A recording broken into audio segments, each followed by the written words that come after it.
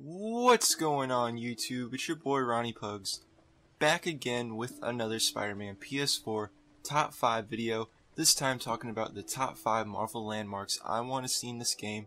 I've mentioned this in my last video, but I figured I would share which Marvel landmarks I want to see the most since I have nothing better to do today. Insomniac has already hinted at Marvel landmarks being in the game with the Sanctum Sanctorum shown in the Paris Games Week trailer, and I fully expect this New York to be filled with Marvel landmarks that we all know from the comics and movies. And thank you guys so much for the love on my last Spider-Man PS4 video. I really appreciate it, and I'm glad a lot of you guys enjoyed it. So here we go, the top 5 Marvel landmarks I want to see in this game, in no particular order, I hope you guys enjoy. Alright guys, so to start this list off, the first Marvel landmark I want to see in this game is the Flatiron Building. You don't even have to make this building the Daily Bugle, but when I think of buildings in New York that were featured in Spider-Man movies, this is the one that always comes to mind first. Not only is this building iconic for real life New York, it's forever going to be associated with Spider-Man. We've seen this building in the Raimi films, the Spectacular Spider-Man TV series, and even Web of Shadows made this building the Daily Bugle in their game. I'd love to see this building in the game. I know some Spider-Man games don't have this building in their city for whatever reason, but the first Marvel landmark I want to see in this game is the Flatiron Building, whether it is the Daily Bugle or not. And moving on from that, the second Marvel landmark I'd like to see in this game is the Brooklyn Bridge, but with a twist, when you swing near this bridge, the location on your HUD would actually identify this area as the George Washington Bridge. If you're wondering why I'd identify this area as the George Washington Bridge, it's not just because I like to rename bridges, it's because in the Amazing Spider-Man number 121, the night Gwen Stacy died, the book states the bridge Gwen Stacy died at was the George Washington Bridge through text, but visually it's shown that she actually died at the Brooklyn Bridge. And an idea I've seen online suggests that we could see a rose at the top of this bridge similar to what we got in the Spider-Man Blue comic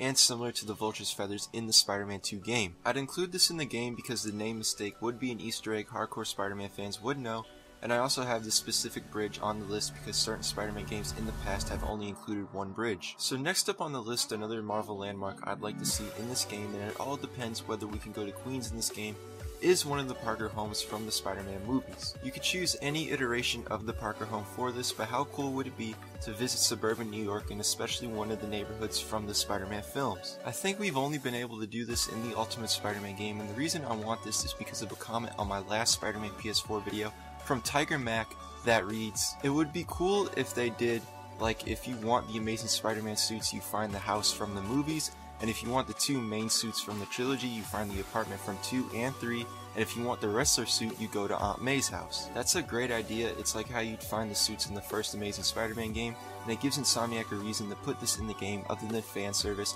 I'd love to see the suit idea or the Parker homes make it into this game. And for my second to last landmark I want to see in this game, and this is just a fun one, how great would it be to see Joe's Pizza in this game? I'm pretty sure Insomniac has already said there won't be any pizza missions in the game, but that doesn't rule out having pizza restaurants in the game, especially one as iconic as Joe's Pizza and their 29 minute guarantee. The pizza missions are one of the most iconic parts of the Spider-Man 2 game, and I'd love for Insomniac to include this restaurant in the game as a nod to the old school Spider-Man fans. And last but not least, the final landmark I want to see in Spider-Man PS4 is the Nelson and Murdock Law Office. I think this would be great to include in the game. It doesn't have to be some huge building like the Oscorp Tower or the Baxter Building. You can make this place look like any other building in Hell's Kitchen, making the Easter egg unnoticed unless players go down to street level, making this one of the harder Easter eggs to find in the game. And it's not like we haven't seen this building in the game before. The Incredible Hulk video game did include this building, and I think it'd be great to include this in the game as a hint to the bigger Marvel universe, and because when I think of heroes that team up with Spider-Man, I always think of Daredevil first. So to wrap things up, 5 Marvel landmarks I want to see in this game are the Flatiron Building, whether it is the Daily Bugle in this game or not,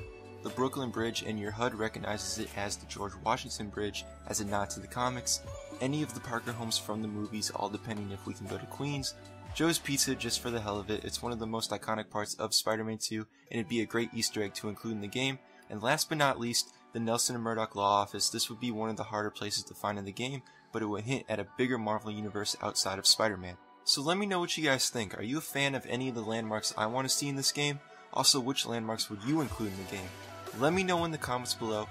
Thanks for watching, be sure to subscribe, follow me on Twitter, and I'll see you guys again in my next video.